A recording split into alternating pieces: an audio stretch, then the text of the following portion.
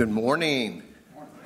It's good to see everybody here. I want to welcome everybody that's online. Uh, so uh, good to be able to get together, whether it's here in person or whether you're joining us online.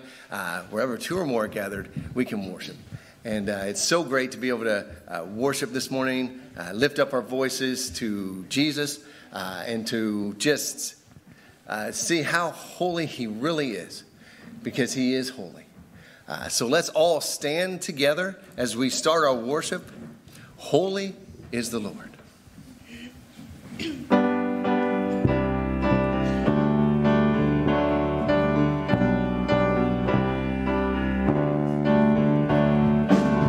We stand and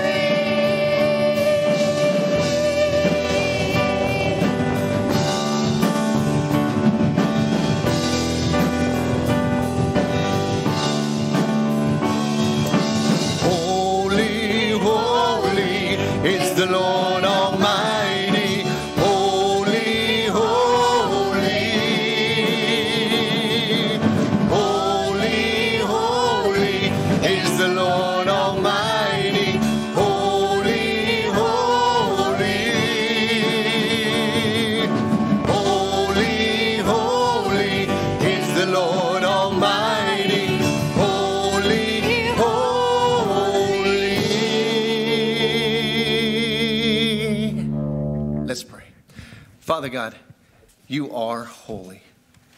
And Father, we come this morning just to worship you and your Son, Jesus, because there's no other name under heaven by which we can be saved but the name of Jesus Christ. Father, thank you for that gift that you gave us. Thank you, Jesus, for coming, for living a perfect life, for dying for our sins and raising again so that today we serve a risen Savior. And Father, we worship you this morning, giving you all glory, honor, and praise. For it's in Jesus' name that I pray. Amen.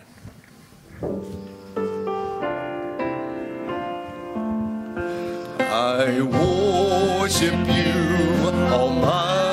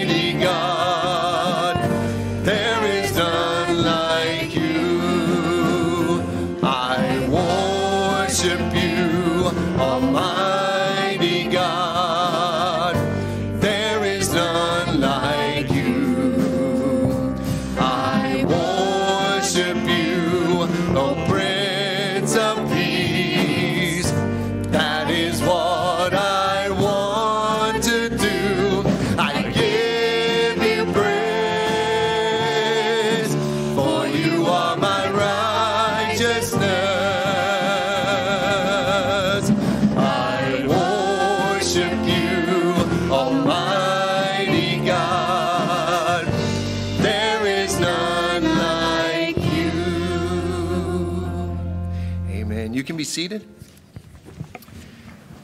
Continuing to worship together, Psalm 119, 105 says, Your word is a lamp unto my feet and a light for my path, thy word.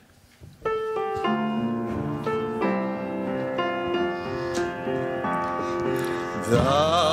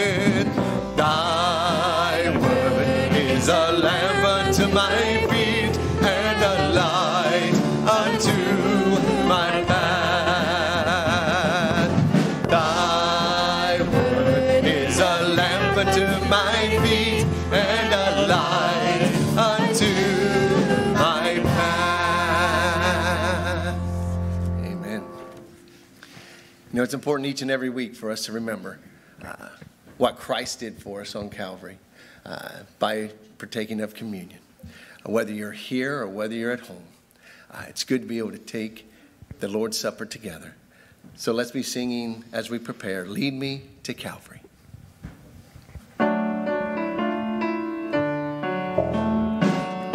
Of my life, I crown thee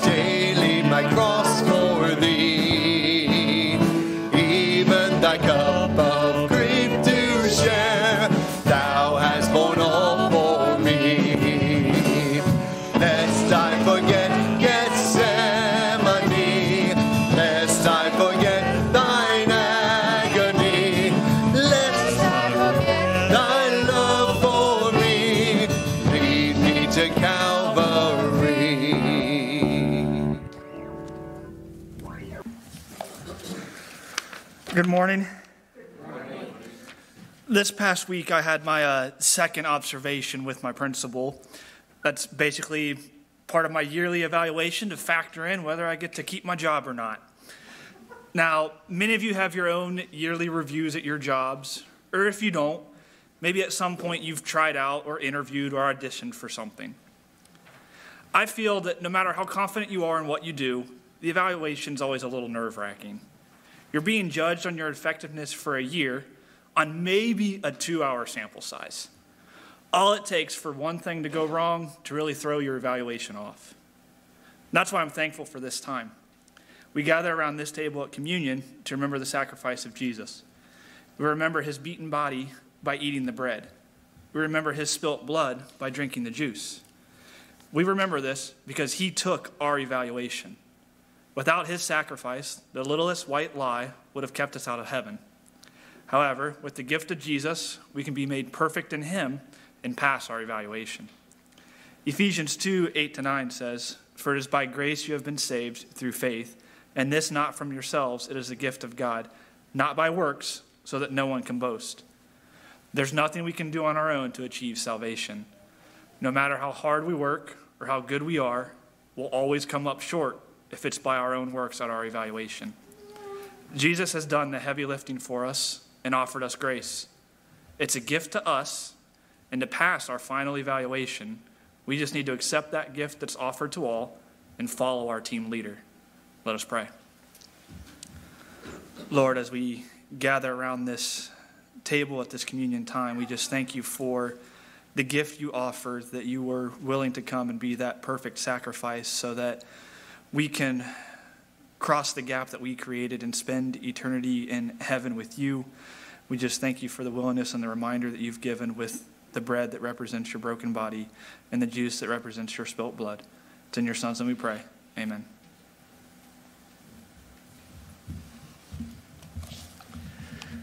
As we continue to worship, uh, let's stand together and sing Everlasting God.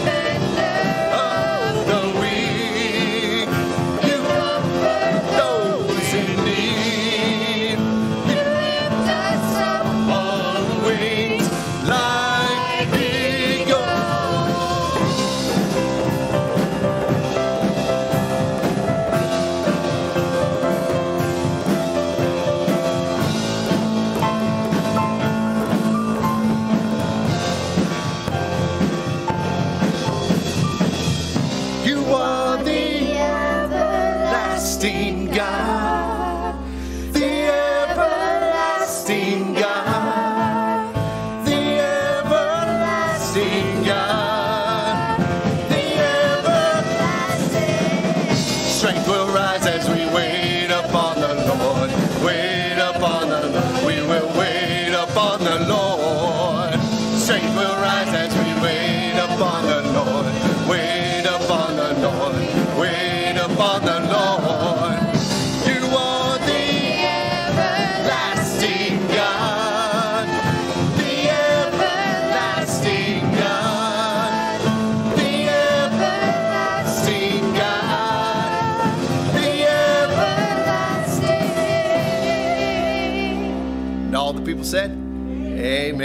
Be seated. Good morning. So uh, today I also pulled this um, offering meditation from Tithe, uh, tithe.ly. um, so each of you should give what you have decided in your heart to give, not reluctantly or under compulsion, for God loves a cheerful giver. giver. 2 Corinthians 9 7. Have you ever listened to someone that makes you think, wow, they get it? Maybe it's a podcaster who articulates your political views very well, or a book that explains you better than you could explain yourself. But we all know what it's like to love finding some, someone who else who gets it, whatever it is. See, God loves everybody. What he loves about a cheerful giver is that they get it. They get the connection between spiritual growth and generosity. They get that giving is, giving is itself a blessing to the giver. They get it. Not that those who aren't in a position to give don't get it, but there are far more of those who can and don't, and those who think they can't, but probably could. To both of you, God says, I love a cheerful giver. Let us pray. Father God, we just come to you this morning to thank you for everything that you have done for us, all the way from giving us a beautiful sunrise to sending your son to live and die for us. Father God, we thank you for each and every day that we have. And it's in your wonderful Son's name that we pray. Amen. Good morning. I'm going to ask you to be praying with us uh, here in a moment, uh, just praying individually, silently. I'm going to ask that you add and remember Gene Bender. Uh, it's Debbie Barrett's dad. Uh, had some heart issues uh, last week, necessitated him being taken to Grant, where he remains with a stent uh, that was put in his heart. Is doing better, but just appreciate it if you would pray for Gene and Donna and their family uh, while he recovers.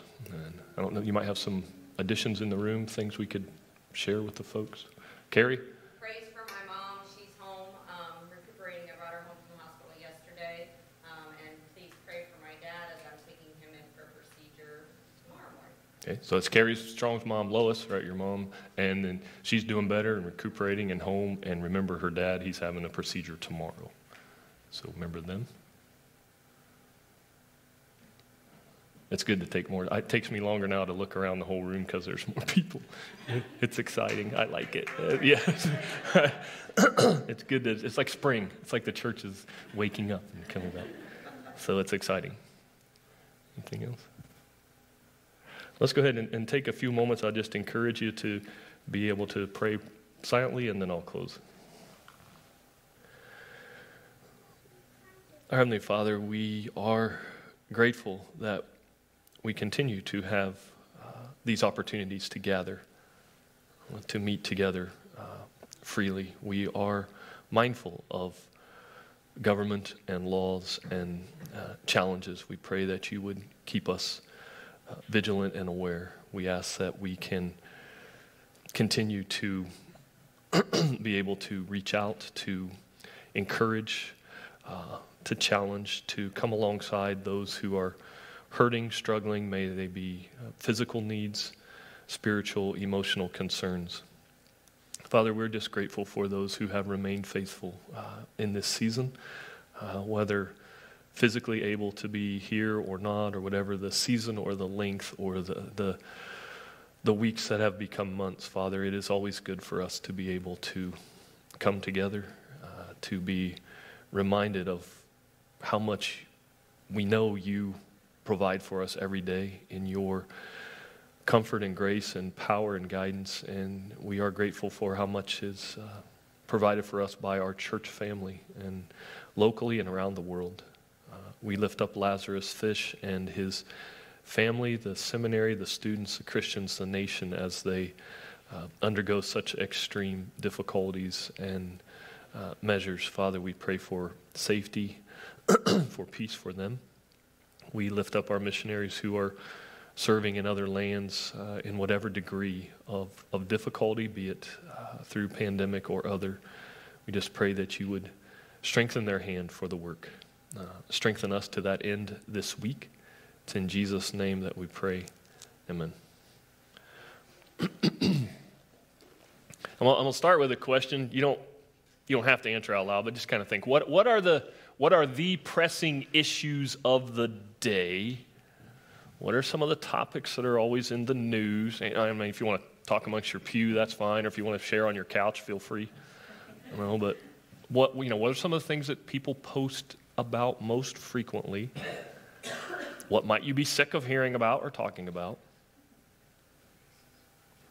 But let me ask you this as you're thinking, as you're contemplating, as you're making that list of topics, did service make your list? is the concept of serving people because I love God. Is, is that one of the hot button issues that, that is, culture is consumed with? I'm going to say no. Okay, it's not. But we're going to propose this month, and Scripture will make the case that these four areas that we are going to touch on, amongst others, are essentials for us. Okay? They will be serving, the Holy Spirit, prayer, and worship, these essentials in any season. Okay? And I will grant you, I understand this Christian message, largely Christian audience from the Christian Bible. Uh, might not expect everybody in culture to, to agree with our list, but that, that is of no matter. this is a list for us. And for us as believers, these four, among others, are always necessary, vital, applicable. I think we could argue if only we could lead or encourage more of the population to accept these as essential, we might not have some of the struggles in the news that we see today. So we're going to look at these four as essentials. Any season, uh, you'll find in the Gospel of John. And I don't know if this particular title will be attractive to people when they're scrolling online or not. Um, it has the word Jesus in it, um, which is usually attractive to people when they're looking at our sermons. I'm like, oh, that was about Jesus. But it also has the word service or serve in it. Uh, so maybe not so much for them. You know, again, it doesn't matter. The point is for us. The point of this sermon, Jesus very simply, very clearly serves. it, it is an essential for us in any season, in any setting, in any climate, in any culture. Uh, it's vital that Christians be willing to serve other people like Christ did here. The account is from John chapter 13. I'm going to be reading the first verses of John chapter 13. It was just before the Passover feast. Jesus knew that the time had come for him to leave this world and go to the Father. Having loved his own who were in the world, he now showed them the full extent of his love. The evening meal was being served, and the devil had already prompted Judas Iscariot, son of Simon, to betray Jesus. Jesus knew that the Father had put all things under his power, and that he had come from God and was returning to God. So he got up from the meal, took off his outer clothing, and wrapped a towel around his waist. After that, he poured water into a basin and began to wash his disciples' feet, drying them with the towel that was wrapped around him. He came to Simon Peter, who said to him, Lord, are you going to wash my feet? Jesus replied, You do not realize now what I'm doing, but later you will understand. No, said Peter, you shall never wash my feet. Jesus answered, Unless I wash you, you have no part with me. Then Lord Simon Peter replied, Not just my feet, but my hands and my head as well. Jesus answered, a person who has had a bath needs only to wash his feet. His whole body is clean. And you are clean, though not every one of you. For he knew who was going to betray him, and that was why he said, Not everyone was clean. Verse 12 When he had finished washing their feet, he put on his clothes and returned to his place. Do you understand what I have done for you? He asked them. You call me teacher and Lord, and rightly so, for that is what I am. Now that I, your Lord and teacher, have washed your feet, you also should wash one another's feet. I have set you an example that you should do as I have done for you. I tell you the truth no servant is greater than his master, nor is a messenger greater than the one who sent him. Now that you know these things, you will be blessed if you do them. Okay, so there's the scene.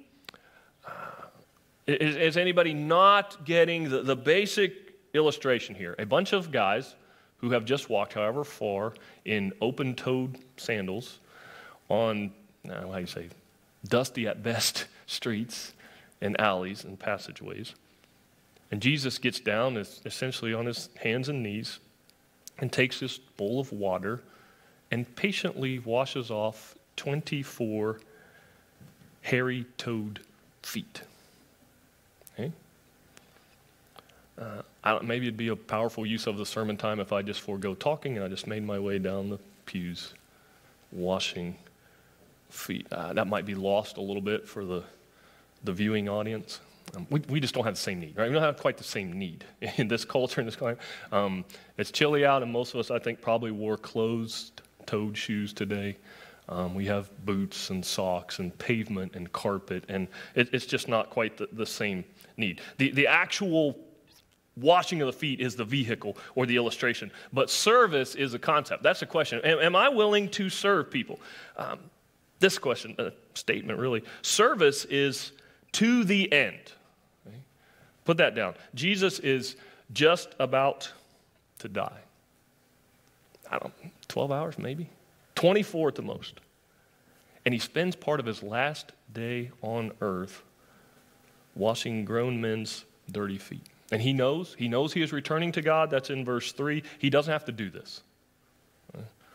We often look at Philippians 2, 5, 6, 7, 8. Your attitude should be the same as that of Christ Jesus, who, being in very nature God, did not consider equality with God something to be grasped, but made himself nothing, taking the very nature of a servant, being made in human likeness, and being found in appearance as a man, he humbled himself and became obedient to death, even death on a cross. And he served right up to the end.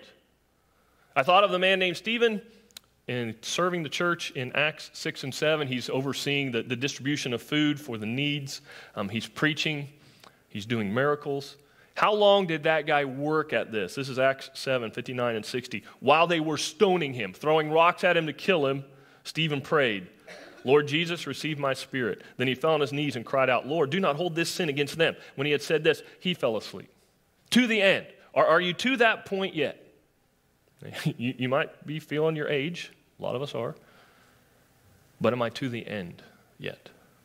Service to the end. Uh, Denise's mom, Georgina, sang with us a couple, couple Saturdays ago now. She is 91. Right? Her health is fading. Um, hospice has been contacted and they are involved. You know? And we have this visit, and, and we laughed and we talked and we cried, just, you know, the, the full gamut of, of, all the emotions. And we decided that we would sing a couple songs. They were old time hymns of the church. And you see her mom singing along through the glass, you know, and, and her face is drawn. And it, it wasn't ideal, but when we were singing, you know, I could, you could just see it. That's, it's, you know, you have one of those visions that you never forget, you know, just through this little pane of glass. I can see her face and her mouth and just the contentment, you know, and, and the smile and the, the words just came naturally. You know, she said, "I wasn't singing. You were. We, we saw you." you know? Sustained and enabled, and 91 years old. And, and the time comes, and we have to leave. And, and she says, "I have to stay here." Know? And she's like, "I don't know. What can I do here? I can't. How can I serve here?" And we said, "This is what you need to do. We need you to pray. We need you to pray for us. We need you to pray for the staff.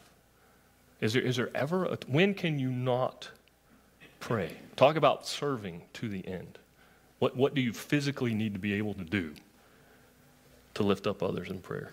And I'm, I already told you we're going to talk about. I'm giving you two week warning because we're going to talk about prayer in a couple weeks. So I'm going to come back to it and ask, how'd I do? Now most of us are, are, living somewhere between age-wise Georgina and probably Vivian. You know, we're, we're somewhere, somewhere in the middle of there. Well, none of us get to opt out of serving because we're old or tired or sick or there's been a pandemic, or I don't want to wear a mask, or I'm just tired, or, or whatever. It's not a, Revelation 2:10. Be faithful even to the point of death, and I will give you the crown of life. Nobody retires from serving as a Christian. Now I understand and be aware that service might not fit your giftedness. you, you, might say, I'd, I'd rather lead. And we say, well, it's serve. And I want to share here in a moment, I want to share a clip of a young woman. This is one of those post wisdom teeth extraction videos you know, where, where people have had the gas or they're on the drug or whatever. And the comments that they make are, are kind of funny. And it has captions on it. But see if we can play this scene of this girl after her wisdom my teeth. mouth? Yes, and leave it in there. God is in my mouth. I am real careful so I don't chew him up. Not God. He can't help us. No, God's not in your mouth. Gauze is in your mouth. Like gauze Is that padding. God's brother? No, honey. I never had a brother. It's not God's Apparently, brother. Jen is not doing a good job in Sunday school because she did not tell me that God had a brother named Gaz. Man, he has a short end of the stick there.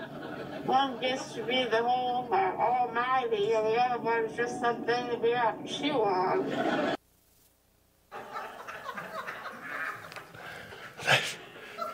This makes me laugh every time. But that of the two, Jesus is more like gauze here in, in, the, in, the, in the scene. You know, talk about getting the short end of the stick. This is a Passover meal. This is a holiday celebration, and he's washing feet. You know, all, everything that he has already done, everything that he's able to do, his power, his wisdom, his leadership, he has no insecurity at all about his status or his future. He knows where he's going. And he's washing feet. Teacher, Lord, servant. That's, that's the problem that, that Peter has. That's exactly what's going on in, in Peter's mind. You know, you're, you're not going to wash my feet, the message says, ever. You know, because he knows you're God. You know? I, I'm thrilled.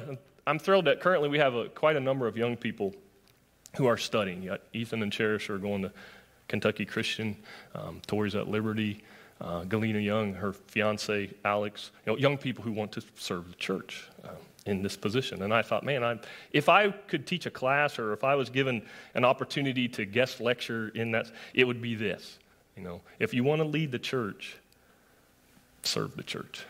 You know, and it's not always going to be on the stage with the lights and the microphones, but you got to be ready and, and you got to be willing. It's, it's not always going to be in the comfortable sanctuary setting where we have all the, the tools and the tech and the team and the temperatures pretty much just what we want.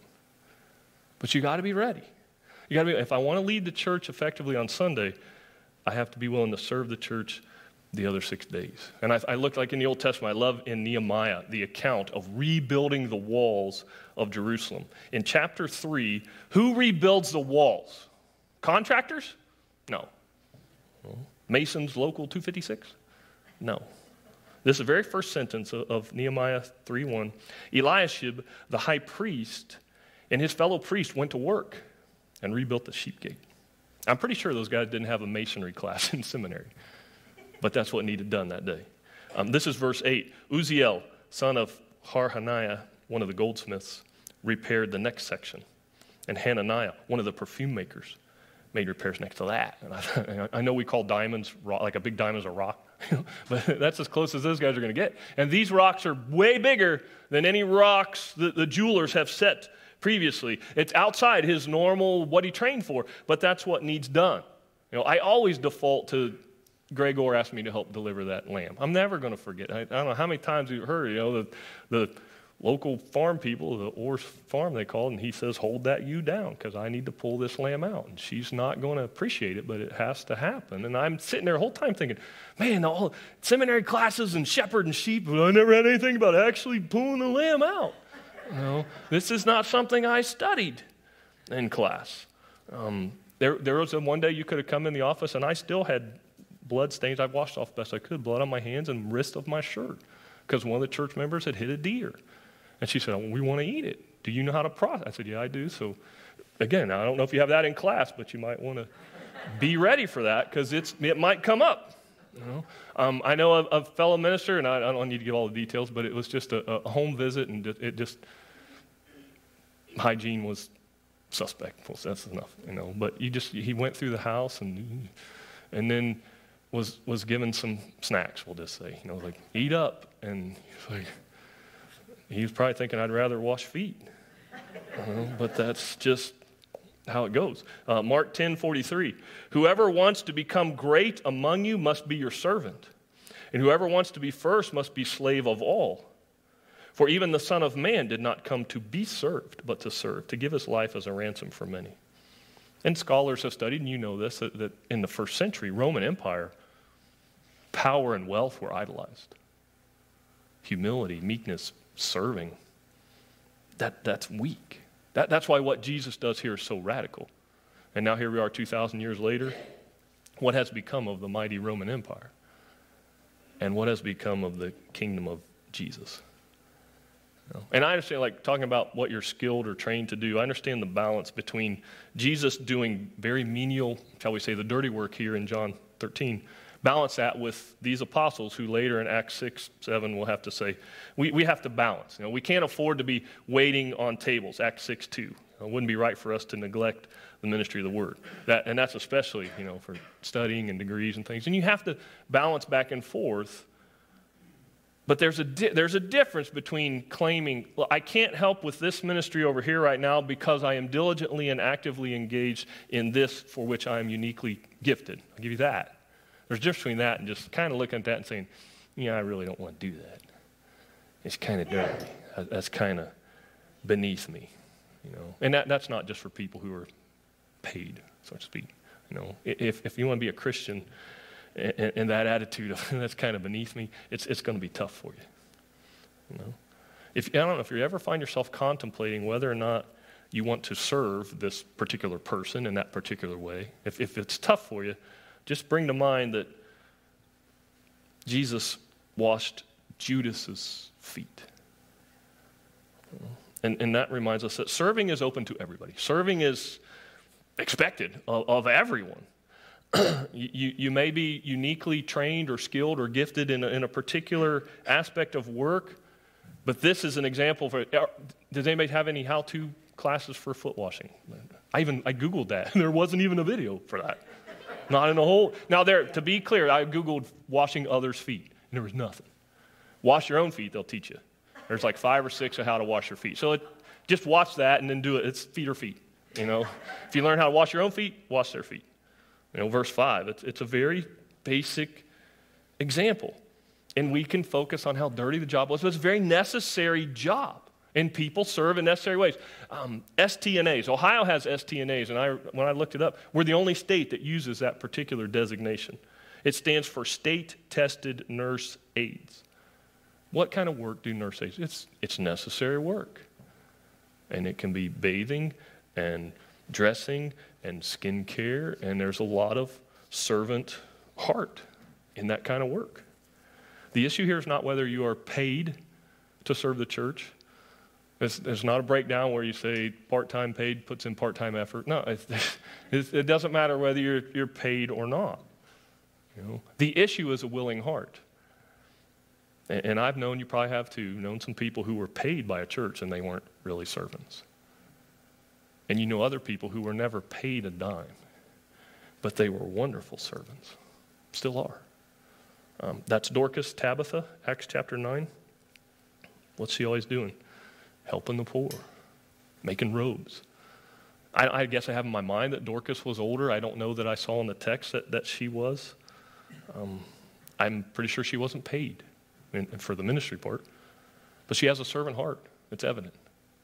1 Timothy 5:10, they're making a list of widows who can be supported by the church, and there's a, a break in there where it says most of them hopefully had family who could support them, but some didn't. So we had to determine who should be on the list. And you can see it there. No widow may be put on the list of widows unless she is over 60, has been faithful to her husband, is well known for her good deeds, such as bringing up children, showing hospitality, washing the feet of the saints, helping those in trouble, devoting herself to all kinds of good deeds.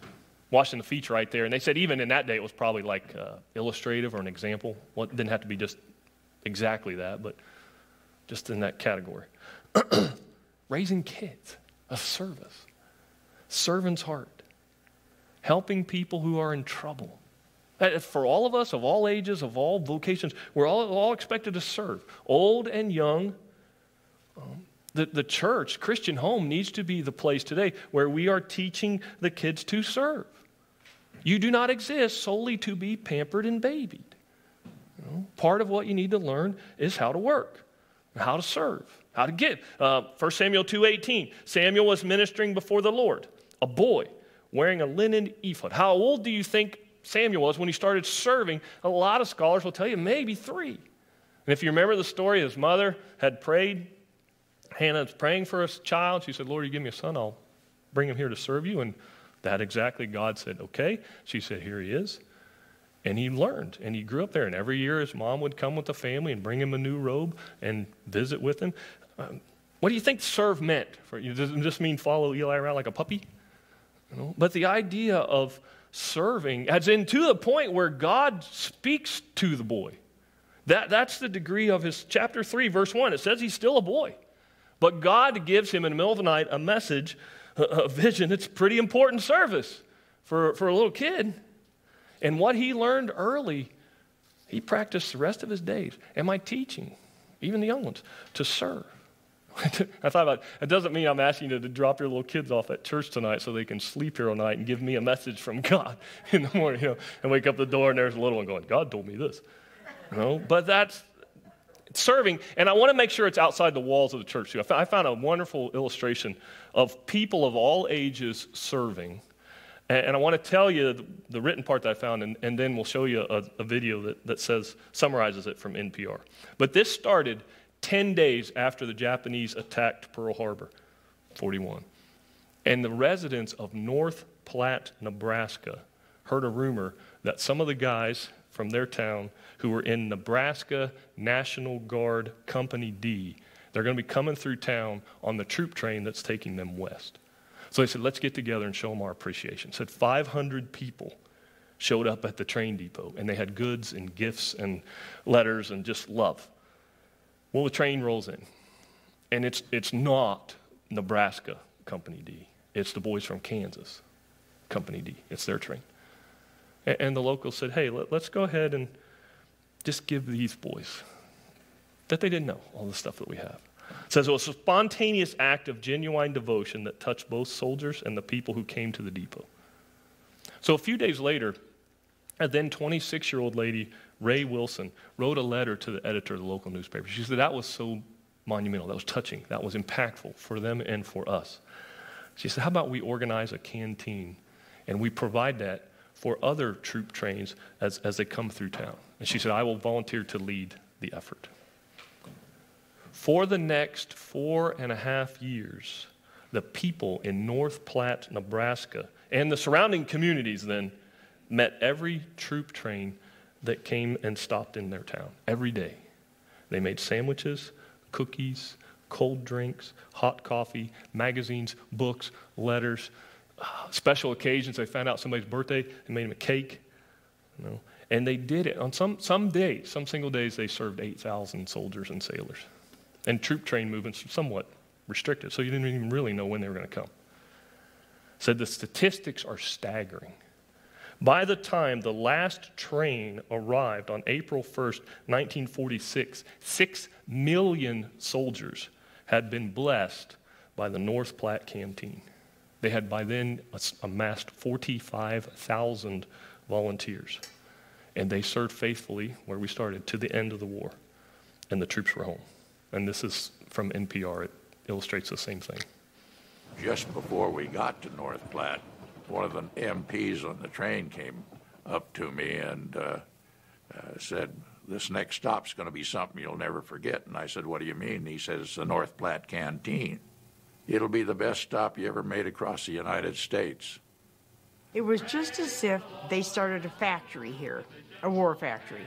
Instead of making bullets or making something else, they made food for all of us coming through. I had a glass of milk because we didn't have milk very often in the service. I had a glass of milk. I had a beef sandwich made with homemade bread. I had a cookie. I had a donut. they offered me pie, they offered me cake, they offered popcorn balls. Then they had fruit. I just can't get over how pleased those people were that we would accept what they were offering. I'd no sooner got off the uh, train than a lady walked up to me with a birthday cake and asked me if it was my birthday. I told her it wasn't. She said, We're going to make it your birthday here in North Platte, and handed me this beautiful birthday cake. It was an atmosphere uh, that you felt when you got off the train in North Platte that uh, made you feel like you were a hero.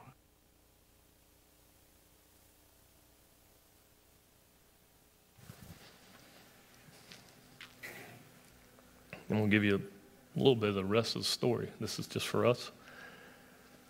Stan Bean is from that North Platte area. And his uncle, Ed Dunn, stopped on way through, had a meal in 42. Uh, Stan has or has access to a book about the canteen that was written by Bob Greene. Bob's a very well known author. And Bob Greene learned of the canteen because Cal Robinson, who was a deacon who attended Valley Christian Church in North Platte with the Bean family, got a hold of him and said, You need to write this up to be remembered. How long did they do that? Four years, every day.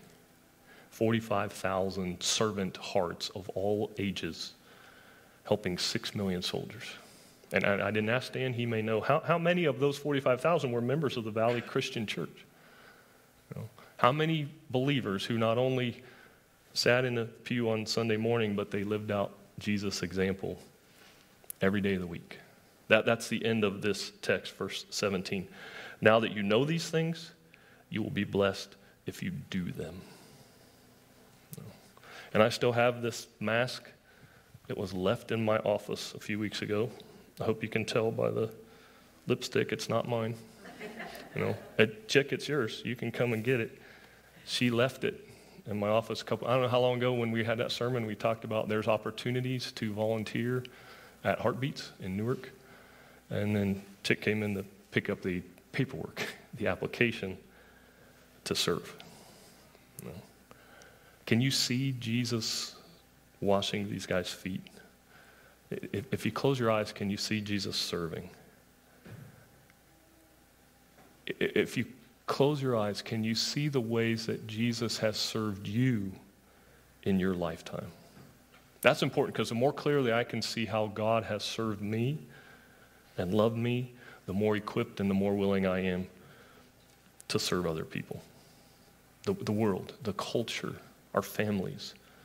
They might not always be super appreciative. Serving at times is draining and demanding. You're going to get dirty and you're going to get sore. And you might be tempted to be discouraged. But can I close my eyes and see Jesus washing feet just hours before he gives up his life? And Gary Burge said that's, that's the source of the power. He tied it to 1 John 4:10. Dear friends, since God so loved us, we ought also to love one another. And he put it this way He said, Without a prior life consuming experience of God's love for us, we will be ill equipped to go serve anybody else. And it's true, you've seen it. That's what characterizes the lives of people who give themselves. Profound act of Christian service. The story of their journey always begins with an encounter of God's goodness to them. It never fades for them. When you look at the Apostle Paul in the New Testament, transforming experience, right? When he meets the Lord, he becomes a servant of the one who serves him. You know? And, and depending on how long you've been with us, we'll just say he was a jolly little man named Joe. You know? And we would say the same about Joe Haley being on fire, you know, for the Lord, a modern day Paul. And if, and if you ever asked him, and I asked him, man, what fuels you? What would he tell you? I, for lack of a better term, wasted about 50 years of my life. And God has been very gracious, and He was patient, and He has changed my life and poured so much into me. I have so much to share and so much time I can't get back. And another person among how many I could give you who served right up to the end, served as needed, served when needed. I want to serve like that. I, I want to serve like Jesus. Let's pray. Father God, we are mindful of opportunities that are afforded us. Uh, our lives, our circles, uh, our abilities grow and diminish and, and change and are uh, rearranged through the years as our bodies get tired, as our uh, minds become full. We know that there might be days and times and ways in which we will serve in different venues and, and, and aspects and opportunities than before. But Father, you need all of us, and, and you equip all of us, uh, from the youngest among us, to be able to serve your people, not just in the church building on Sunday morning, but through the week. Not just your people, but people in our towns, our schools, our workplace, uh, people who need your grace. And we pray that we can serve them and be reminded of how you serve us. It's in Jesus' name that we pray. Amen. uh, the invitation remains open as we make our way here to the front to sing. Um, it's an appropriate title. Just come just as you are right now, well, however dirty you feel like your feet or your life might be, but to come and to give your life to the Lord. Um, he is willing, He is able. Let's stand together. We'll sing, Come Just As You Are.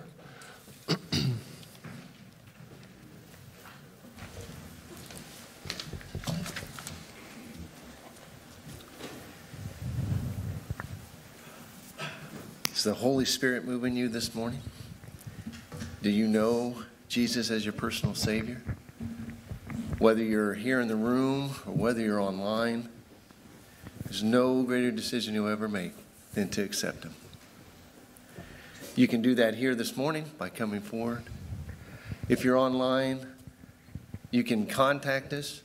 Um, I've never got a text, though I've given my number, so maybe I give it too fast. It's 740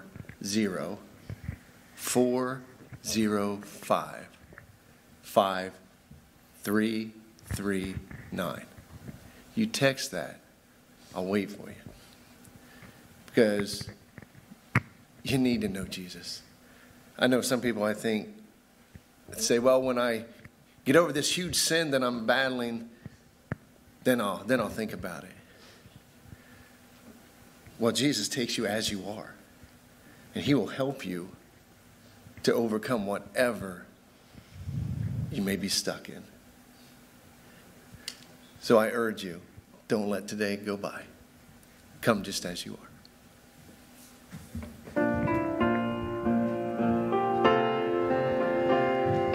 Come just as you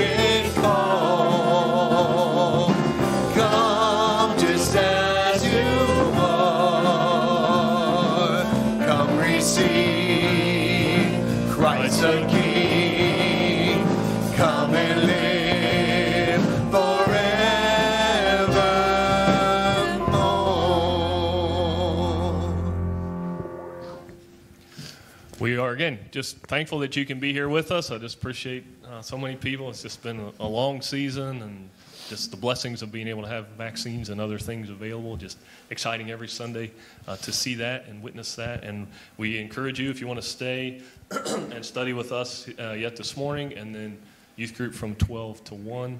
And I, I know Bob has one that Bob made Mark and I aware of some things that are happening in Washington laws and things we need to be aware of. Um, give him time here in a minute to remind us of that. And the Easter memorial flowers need to be ordered by next Sunday. If you want to place flowers here, we'll decorate for Easter Sunday. And then if you're here in person, you can take them home that same day if you want after the service. But there's an order form out there in the foyer. And there is a page, guys, if you want to sign up to come and eat for the bean, the beanless bean dinner, which is now pulled pork. And so, um, but if you want to try that on the 18th, and if you anybody, any age, if, if you want to make a pie, you can mark that too. We'll, we'll gladly eat pies here and, and keep them here. So, and then Bob, if you want to update us on that, what you read. You guys, you guys can have a seat. It's going to take a, this is almost meditation length, so, um, but I just wanted to, I kind of felt compelled to bring this to your attention, and I brought it to Mark and, and Kevin the other day, but uh, in Congress right now, this is going on. Um, and we try to stay away from overtly political stuff when it comes to bringing any kind of message, especially from up here uh, at the pulpit, being during a meditation or a sermon or, or whatever. But um, and the IRS does frown upon tax exempt uh, entities advocating for or against specific candidates, so I will not be doing that. Um, let me be clear about that, and I think I can speak for Kevin and Mark, and I know I can because they they read this, so I imagine they agree. When I say we will not tell you who we think you should vote for uh, when acting in our positions in this congregation. So let's get, just, I want to set that aside. But having said that, I felt compelled, as I said, to make you aware of something called House Resolution 5, which passed the U.S. House of Representatives, I believe, on March 2nd. Um, and it's otherwise known as the Equality Act. Uh, it's only about 28 pages long, which is strange for stuff out of, out of uh, Washington these days. But uh, so you can read it, and I encourage you to.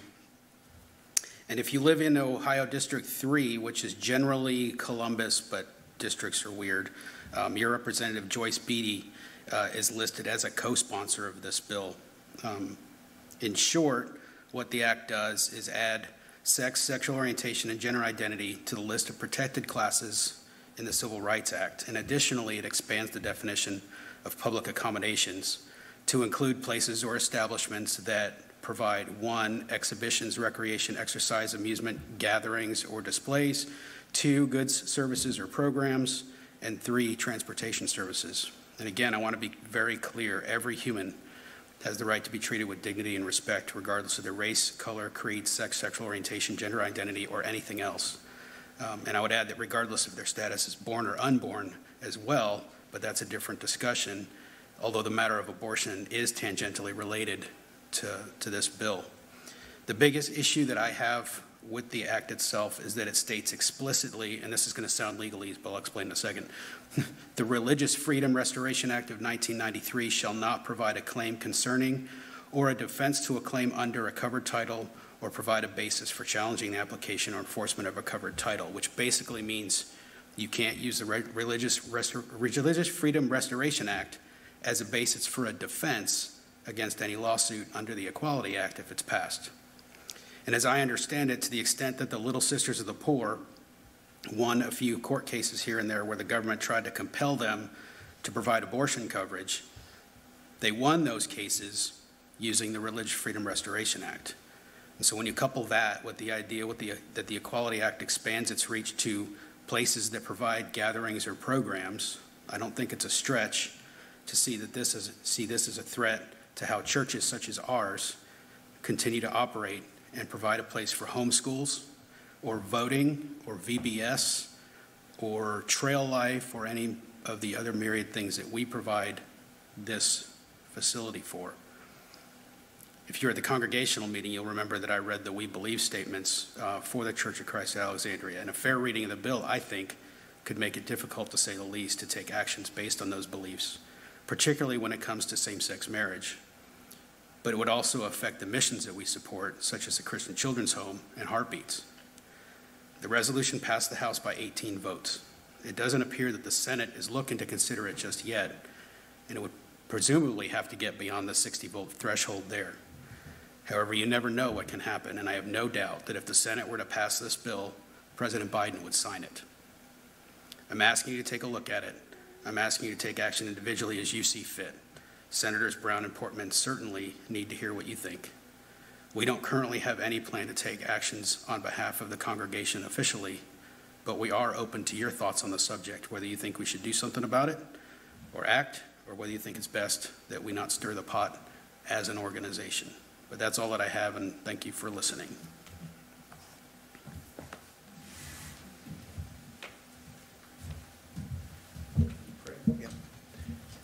Let's go ahead and uh, I'll let you stay seated, but why don't we go ahead and pray? Father God, Lord, I thank you for this time that we have come able to worship, uh, able to do so freely. Father, I pray that you give us a servant's heart. Uh, Father, help us to serve others, to show your love. Uh, Father, to be able to show your the grace that you've given us so we can show that to others so they will want what we have which is you. Father thank you uh, for the time that we've had. I ask that you keep everyone safe as we leave this place. And father help us to make an impact uh, to our community to our state to our nation and to our world. Uh, father i thank you so much for the many blessings you give us. In Jesus' name I pray. Amen. I'll ask that, will you please stand as we sing uh, the closing song, O Lord, You're Beautiful.